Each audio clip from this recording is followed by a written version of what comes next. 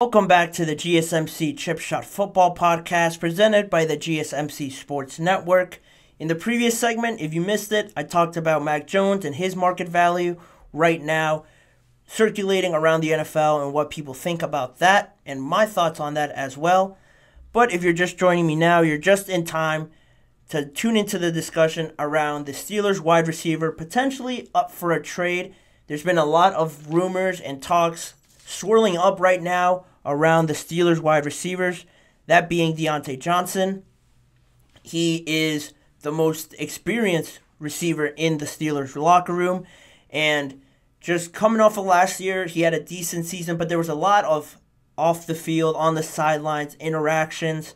Um, rumors that Diontae might not be happy with the situation, his target share.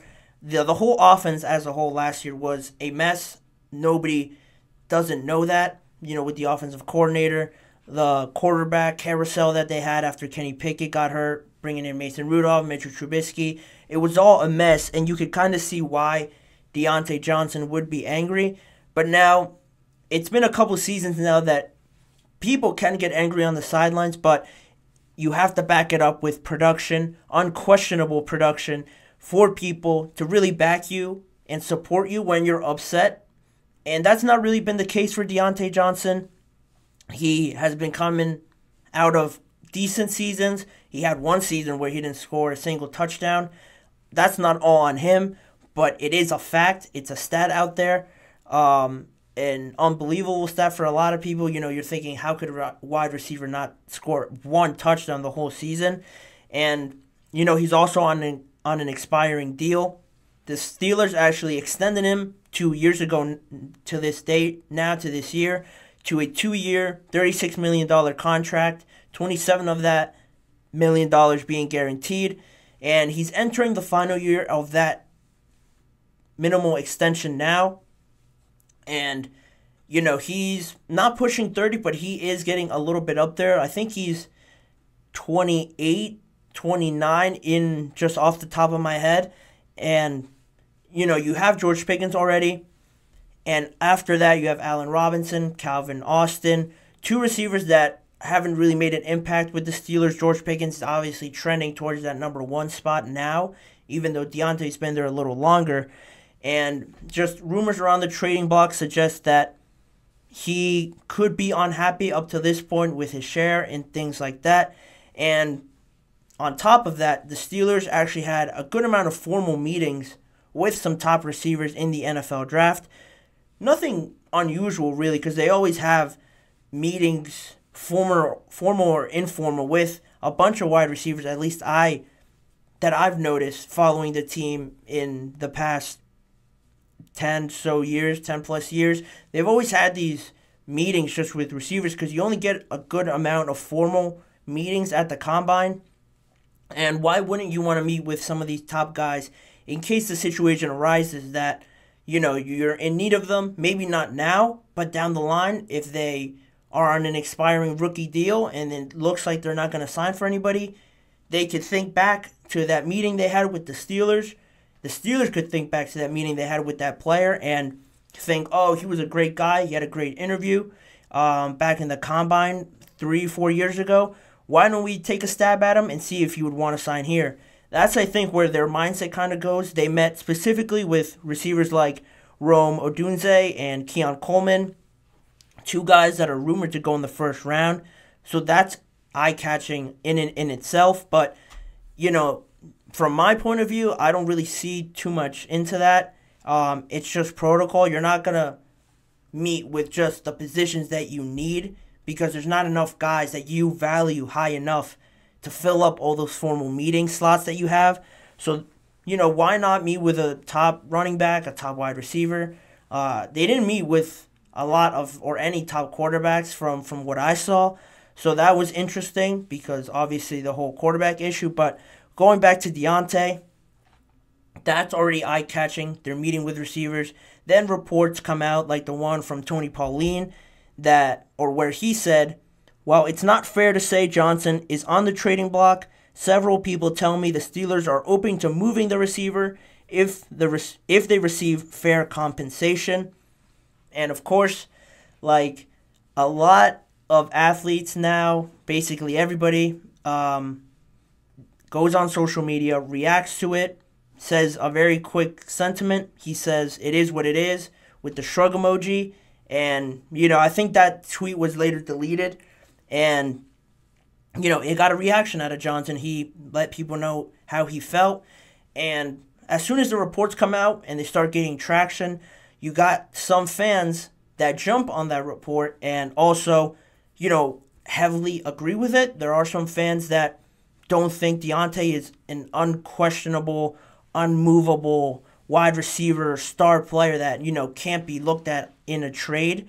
Um, just off of the facts of the stats, the success that he's had. You know, he hasn't really made that big jump in his career. Um, the best season that he's had, really, I think, was with Big Ben his last couple seasons, or just one or two years that when Juju was still here. But other than that, he hasn't really made that great jump. He's got a decent skill set. He's a good route runner, uh, decent deep ball threat, but it, you don't see the kind of qualities that just pop out like a George Pickens. You know, George Pickens is on social media, on the news, all these outlets where he makes a crazy catch. He's got the size, the speed.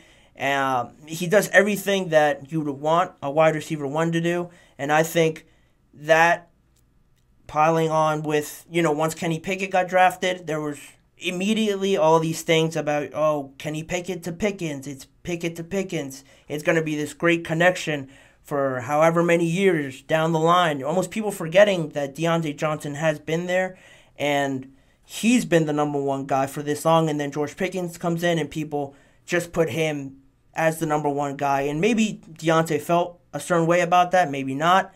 Um, I wouldn't know that personally, but you know, he obviously sees that and he's gonna have a reaction to it, positive or negatively. And that all kind of adds into this trade rumor where he's happy with Kenny Pickett, he's not happy with Kenny Pickett, with the team. Um, his attitude's been thrown into question as well at some points. Just off the top of my mind, the Bengals game at Cincinnati this year, it was a a fumble play. Jaylen Warren fumbled, and Diontae Johnson was blocking, and Warren fumbled almost in his eyesight in his path where he was blocking, and he sort of just like looked at it and didn't jump on it. The Bengals recovered it.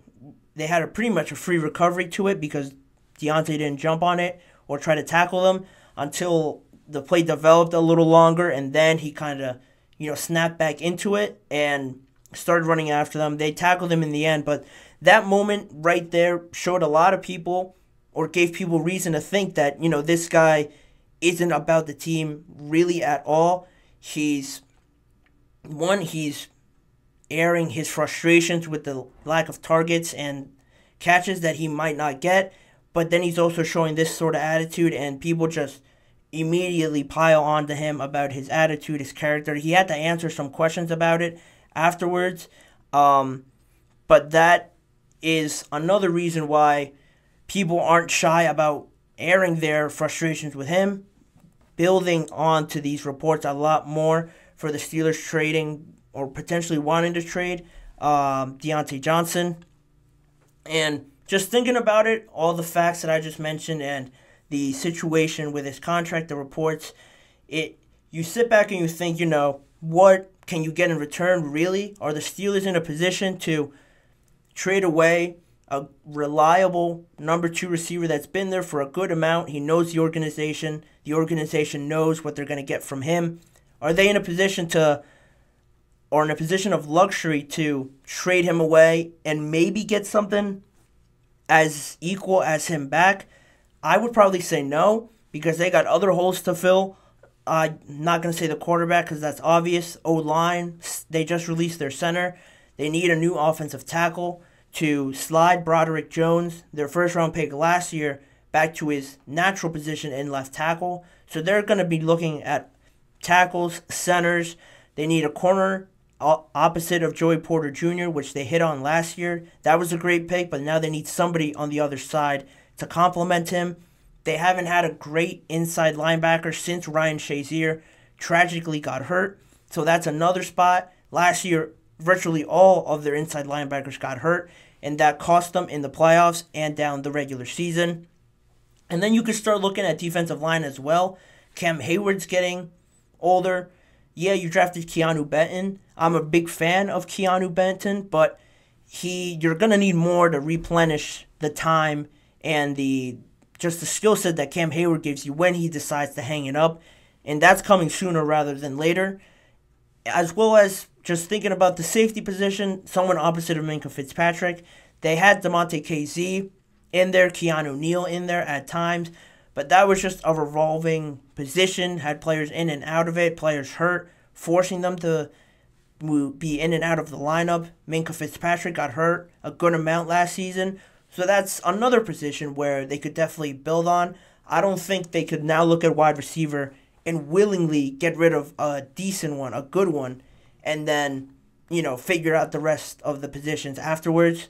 Uh, I don't think that would be smart to, for them to do. I think Omar Khan would be or is smarter than that to, to do that trade in for for anything less than a second or a third. I think would be would be throwing that opportunity away. But that's just the reports. What's kind of gained traction as of late, and you know, there's no guarantee if you get a second round pick, a third round pick, and if you spend that on a wide receiver, there's no guarantee he's going to be an A1 wide receiver 2 kind of player that could immediately contribute. Every player is different coming into the NFL, and you can hope and think, you know, and project that he's going to be good right away, but you truly never know until they produce it. George Pickens was obviously had freakish ability, freakish size, speed, and everything he adjusted a lot quicker than most receivers I have seen do. So there's all that, as well as something else that I found interesting just about this whole Diontae Johnson situation with trades and wanting some fans wanting him out. It didn't help at the end of last year when Johnson almost aired what quarterback he prefer what quarterback he preferred in that little battle that they had with Mason Rudolph and Kenny Pickett. Once Kenny Pickett got hurt, you know, Mitchell came in and it wasn't a success at all. So they had to move on from Mitchell Trubisky and start Mason Rudolph. And Mason Rudolph, I understand, has been with Diontae Johnson a long time. They've been there virtually the same amount of time with the Steelers. And he basically said in an interview after the Bills game, um, he said, I kind of had high hopes for him to do what he's doing. He came in and became the starter, so hopefully he gets the job next year. Do what he got to do. Other than that, he did a great job, man. Talking about Rudolph after that Bills game. And, you know, I'm you're sort of nitpicking right now, potentially reading too far into those quotes, but some people, and I could see where, where they're coming from, might look at that and think, you know, he obviously prefers Mason Rudolph over Kenny Pickett they had some pretty explosive games with Mason Rudolph. I'll give him that. But at the same time, you can't say that um, if you're Diontae Johnson. I get it that Mason did great. You want to support Mason. Everyone should support Mason because he was the third string, took advantage of his opportunity, and ran with it, had good success to make the playoffs. But he said it so nonchalantly and very confident, almost too favoring Mason Rudolph a bit too much. I've never seen him say something too positively about Kenny in comparison to the other quarterbacks. Yeah, he supported Kenny, but he's not um, almost chosen him over the other quarterbacks um, as much as he has in this quote. So just that just adds more fuel to the fire. And it brings us to this point where, you know, the Steelers might want to listen to offers for Johnson. There's nothing wrong with that, but you're going to have to wait and see how he responds to that, how the Steelers act in free agency. There's a good amount of wide receiver free agents out there that I'm going to get into later in this show. Do the Steelers take a peek at that? And just do the draft as well. The Steelers love drafting wide receivers. It's been a trend in the last drafts for a while now. It usually happens in that second round, but I just think this year it's a little bit different because you have more holes around the team than you expected, than a lot of team or than a lot of fans might really know of. And I think you have to address those first before you can begin any sort of talks, entertain any sort of offers around Diontae Johnson and wanting to get rid of him. I think it's best to ride out this last year with him, and then if he doesn't produce and if it's still looking the same on offense, even with Arthur Smith there, I think then you kind of know where you are as a team. You're undoubt- undoubtedly going to get better through the draft this year and through free agency. I think you can just wait it out one more year, not take too much of a gamble, and just let him walk, or potentially get towards the end of the season and then trade him. We'll see where that goes. I'm going to leave that conversation there. It's a lot of ifs, maybes, and a lot of just opinions up to this point because it's just been a report that's been thrown out there, but it's getting a lot of traction, mostly with Steelers fans because some of them aren't shy about sharing their frustrations with with anybody on the team. So I'm gonna leave it there. I'm gonna leave that segment there. I'm gonna send it to a quick break, and on the other side of that break, I'm gonna bring you more on the NFL Combine, my winners and my losers, as well as the biggest story on which wide receivers I believe are the best available out there on the market that teams can take a stab at as we get closer and closer to the start of the new league year. Don't go anywhere. More on those stories on the GSMC Chip Shot Football Podcast presented by the GSMC Sports Network.